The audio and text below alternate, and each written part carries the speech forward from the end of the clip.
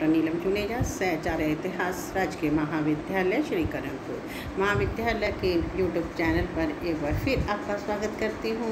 आज मैं B part second विषय इतिहास के अंतर्गत आपको सेकंड पेपर में राजस्थान के इतिहास को जानने के प्रमुख स्रोत क्या हैं, इसके बारे में चर्चा करना चाहती हूँ। हमने पिछले लेक्चर के अंतर्गत आपको राजस्थान के इतिहास को जानने के जो साधन हैं, उसमें पुरातात्विक साधनों के बारे में चर्चा की और उन पुरातात्विक साधनों में विशेषकर हमने अभिलेखों के बारे में आपको बताया और जिसमें ये स्पष्ट किया कि राजस्थान का जो इतिहास है, इसके जानकारी के लिए हमारे पास असंख्यक अभिलेख हैं, जिसको पढ़ने के बाद हम इतिहास की जानकारी जो है हासिल कर सकते हैं। आज हम पुरातात्विक साधनों में आपको जो अन्य साधन हैं, उनमें सबसे पहले हम सिक्कों की बात करते हैं। यानी राजस्थान का जो इतिहास है, इसके जानने के साधनों में सिक्कों का भी बहुत बड़ा योगदान जो है माना जाता है। राजस्थान के अंतर्गत सोने, चांदी, तांबे और पत्थर के बने हुए प्रचुर मात्रा में सिक्के जो हैं, मिले हैं। विशेषकर जहाँ तक पत्थर के सिक्कों की बात आती है, ये सिक्के प्रागैतिहासिक काल के या हमारे राजस्थान की जो प्राचीन सभ्यताएँ हैं, जैसे कालीबंगा आहड़ इत्यादि जो हैं, इनसे या इन स्थानों पर मिले हैं और उस समय यानी कि इन सिक्कों का प्रचलन था, यानी आदान प्रदान के अंतर्गत इन सिक्कों को काम में लाया जाता था इसके बारे में जानकारी जो है मिलती है। लेकिन विशेषकर अगर हम ऐतिहासिक काल की बात करें तो उस काल के अंतर्गत हमें सोने, चांदी और तांबे के, यानी बने हुए अलग अलग राजाओं के नाम के सिक्के मिले हैं, जिससे हमें राजाओं के नाम के बारे में, उनके वंश के बारे में, उनकी उपलब्धियों के बारे में और उनके विस्तार क्षेत्र इत्यादि के बारे में जानकारी जो है मिलती है। और इसके अलावा जो सिक्के हैं, ये हमें राजस्थान की भाषा के बारे में और भाषाओं के अलावा उनकी धार्मिक स्थिति और उनके देवी देवता इत्यादि क्या थे, इनके बारे में भी जानकारी देते हैं। क्योंकि सिक्कों के ऊपर कुछ देवी देवताओं के चित्र जो हैं, वो भी अंकित हैं। और एक महत्वपूर्ण बात सिक्कों से ये भी पता चलती है कि सिक्कों से हमें आर्थिक और व्यापारिक स्थिति के बारे में और अर्थव्यवस्था के बारे में भी जानकारी मिलती है। अर्थात राजस्थान के राजाओं का किन किन राज्यों के साथ व्यापारिक संबंध था, इसके बारे में पता वो भी हमें सिक्कों से जो है चलता है।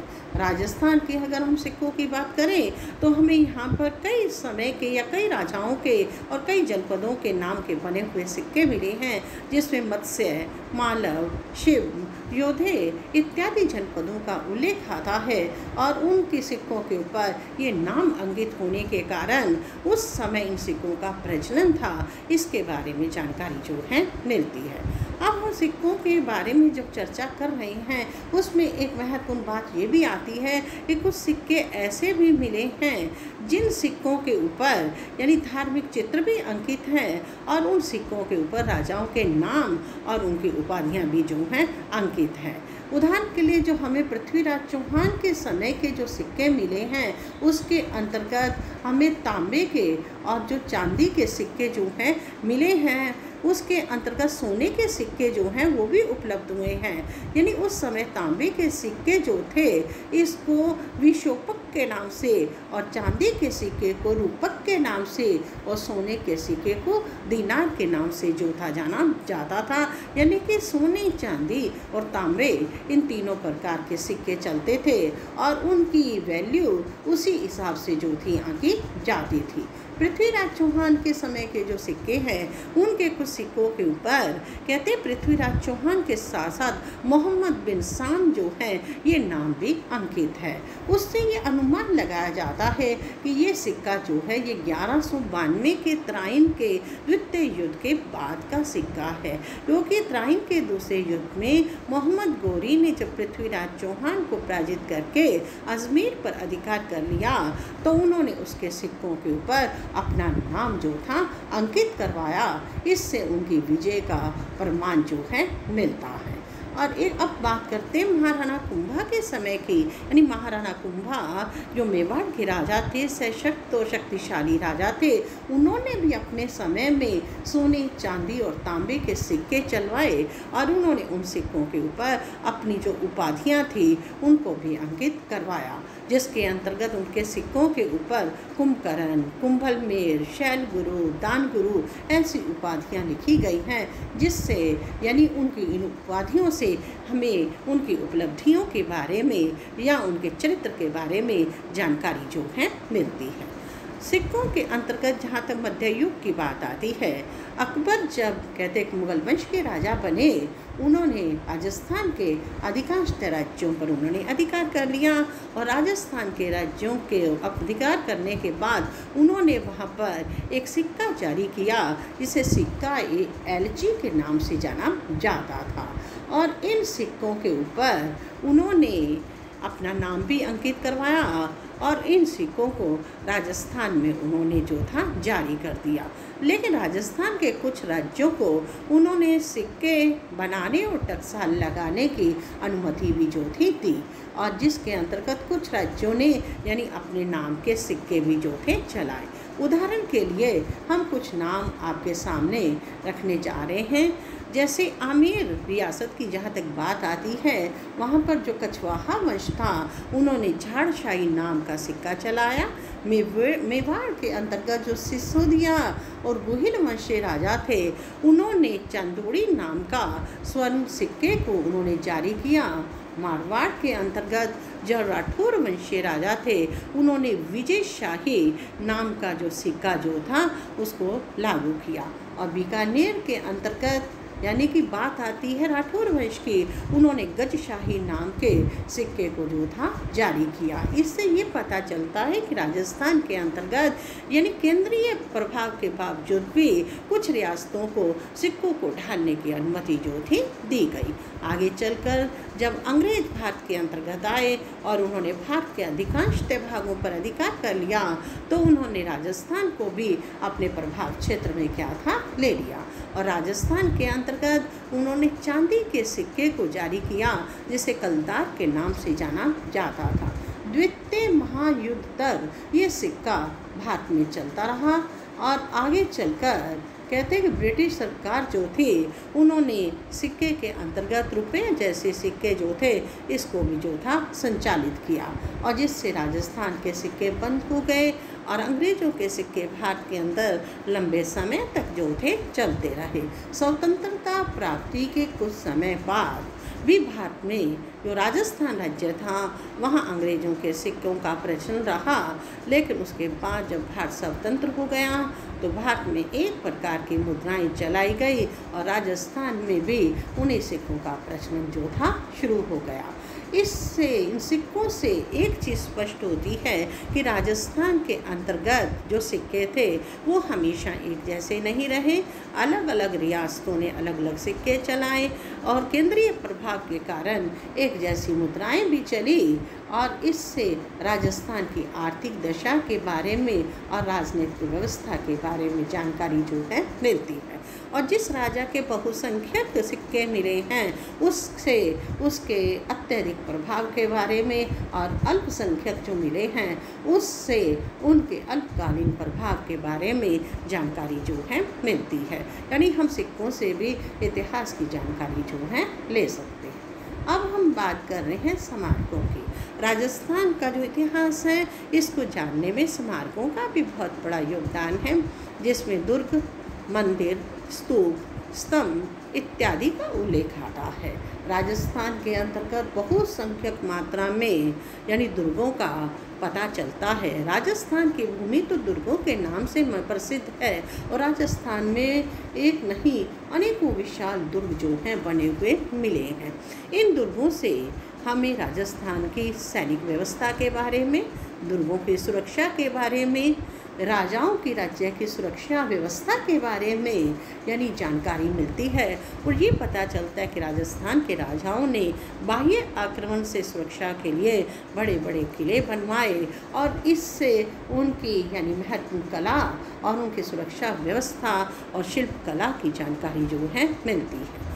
अब बात करते हैं मंदिरों की। राजस्थान में बहुत अधिक मात्रा में मंदिर भी मिले हैं, जैसे एकलिंग का मंदिर, देलवाड़ा का मंदिर, रनकपुर का मंदिर सास बहू का मंदिर और इसके अलावा पुष्कर का मंदिर, सूर्य मंदिर यानी इत्यादि मंदिर जो हैं, मिले हैं। इन मंदिरों से एक तो हमें महत्वपूर्ण बात जो है, राजस्थान के स्थापत्य कला के बारे में और एक लोगों के धर्म के प्रति लोगों की आस्था के बारे में और एक वहाँ की शिल्प कला के बारे में जानकारी जो है, मिलती है। अर्थात ये मंदिर भी हमें राजस्थान के इतिहास के बारे में जानकारी जो है, देते हैं। इसके अलावा जो स्तंभ आते हैं, स्तू, यानी उससे भी हम इतिहास की जानकारी ले सकते उदाहरण के लिए, जो राजस्थान में विराटनगर में बीजक की पहाड़ी है, उसके पर मौर्य युग के बौद्ध स्थापत्य कला के महत्वपूर्ण नमूने जो हैं, मिले हैं। वहाँ पर गोल मंदिर का प्रमाण भी मिला है बौद्ध धर्म से संबंधित अभिलेख भी मिले हैं। इससे ये स्पष्ट होता है कि राजस्थान के अंतर्गत, यानी मौर्य काल के में जब था, उस समय राजस्थान में भी बौद्ध धर्म का प्रचार हुआ और लोगों ने इस धर्म को स्वीकार किया। इसकी जानकारी जो है, मिलती है। यानी हम ये कह सकते हैं कि ये जो स्मारक हैं, चाहे हमें किसी भी रूप में मिलते हैं, ये हमें इतिहास के बारे में जानकारी जो है, देते हैं। अब बात करते हैं भग्नावशेषों की। राजस्थान के जो उत्खनन का कार्य हुआ है, उसके अंतर्गत राजस्थान में कई स्थानों पर यानी भग्नावशेष जो हैं, मिले हैं। यानी कुछ इमारतें खंडहर अवस्था में मिली हैं और कुछ इमारतें धरती के धरातल के नीचे सभ्यता के रूप में हमें दबी हुई जो है, मिली हैं। और उससे हमें ऐतिहासिक रहस्यों के बारे में जानकारी जो है, मिलती है। उदाहरण के लिए राजस्थान में कालीबंगा नामक स्थान, जो कि वर्तमान में राजस्थान के हनुमानगढ़ ज़िले में है। वहाँ पर कालीबंगा नामक सभ्यता का पता चलता है और उस समय, यानी कालीबंगा में आज से हज़ारों वर्ष पहले लोगों का रहन सहन क्या था? लोग किस प्रकार से रहते थे, उनके धार्मिक भावनाएँ क्या थी और लोगों ने आर्थिक रूप में किन व्यवसायों को अपना रखा था, इन सब के बारे में जानकारी जो है मिलती है। यानी इससे राजस्थान की एक अति प्राचीन सभ्यता का उल्लेख जो है मिलता है। और इस कालीबंगा की सभ्यता को, यानी हड़प्पा कालीन सभ्यता या सिंधु घाटी की समकालीन सभ्यता जो है माना जाता है ठीक इसी प्रकार राजस्थान की जो खुदाई हुई है, उस खुदाई में उत्खनन के अंतर्गत जो अवशेष मिले हैं, उनके अंतर्गत भगना अवशेषों में आहड़ की सभ्यता जो उदयपुर से कुछ दूरी पर है, वहाँ पर इसके प्रमाण मिले हैं। वो सभ्यता भी धरती के धरातल के नीचे मिली है। लेकिन वहाँ पर अधिकांशतः तांबे की बनी हुई वस्तुएँ बहुसंख्यक मात्रा में मिली हैं। इस कारण सभ्यता को ताम्रयुगीन सभ्यता भी माना जाता है। और इससे हमें राजस्थान में आहड़ के जो लोग थे, उनके रहन सहन उनकी वेशभूषा, उनके अन्य कई पक्ष जो हैं, इनके बारे में जानकारी जो है, मिलती है। और इससे के अतिरिक्त वहाँ पर कुछ चित्र भी मिले हैं, जिससे हमें उनकी चित्रकला के बारे में भी पता जो है, चलता है। आर के अलावा राजस्थान में और भी कई भरतपुर के पास नोह नामक स्थान पर नागौर रंग महल इत्यादि ऐसे स्थान हैं जहाँ पर हमें प्राचीन सभ्यताओं के अवशेष प्राप्त हुए हैं, जो हमें राजस्थान की प्राचीनता और प्रगैतिहासिक राजस्थान के बारे में जानकारी जो है देते हैं। ये जो अन्वेषण हुआ, उत्खनन हुआ, उसमें जो प्राचीन अवशेष मिले, उन अवशेषों में विशेषकर जो बात आती है, उपकरणों की आती है, या मिट्टी के बने हुए बर्तनों की आती है अस्त्र शस्त्रों की आती है, या आभूषणों की आती है। और उससे भी हमें राजस्थान के क्रमिक विकास के बारे में उल्लेख जो है, मिलता है। उदाहरण के लिए राजस्थान में जो बर्तन मिले हैं प्राचीन काल के, उसमें अलग अलग प्रकार के, यानी बर्तन जो हैं, मिट्टी के बने हुए मिले हैं। उसमें एक तो गेरुए रंग के हैं, जो साधारण बर्तन हैं, और कुछ बर्तन काले और लाल रंग के हैं। कुछ बर्तन जो हैं, स्लेटी रंग के हैं, और कुछ बर्तन जो हैं, यानी चमकीले यानी कि मिट्टी के बने हुए हैं। इससे हमें ये पता लगता है कि राजस्थान की जो प्राचीन सभ्यताएँ थी, वो हमेशा एक जैसी नहीं रही। और उसमें सबसे पहले लोगों ने साधारण बर्तन बनाए। धीरे धीरे उन्होंने लाल के साथ काले रंग का सम्मिश्रण कर दिया। धीरे धीरे उन्होंने उसे पकाना भी शुरू किया और उसे अलंकृत करना भी प्रारंभ कर दिया। इससे हमें राजस्थान की प्राचीन सभ्यता के क्रमिक विकास के बारे में या उसके विकास क्रम के बारे में पता जो है, चलता है। और जहाँ तक यानी औजारों की बात आती है उपकरणों की बात आती है। मिट्टी के बर्तनों के अलावा धातु के बने हुए कई उपकरण भी मिले हैं, जिससे ये पता लगता है कि राजस्थान के अंतर्गत प्रारंभ में लोग जो थे, वो धातुओं के बारे में नहीं जानते थे। धीरे धीरे जब उन्हें धातुओं का ज्ञान हुआ तो उन्होंने अलग अलग धातुओं को उपकरणों के रूप में इस्तेमाल करना प्रारंभ कर दिया। अर्थात इससे भी हमें इतिहास की जानकारी जो है मिलती है। अर्थात मैं ये कहना चाहती हूँ कि राजस्थान का जो इतिहास है, इसकी जानकारी के जो साधन हैं, उन साधनों में हमें अनेकों पुरातात्विक साधनों का उल्लेख मिलता है या उसकी जानकारी जो है मिलती है।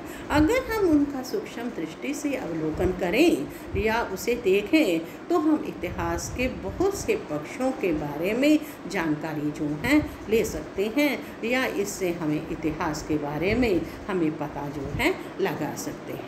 आज हमने बात की आपको पुरातात्विक साधनों की।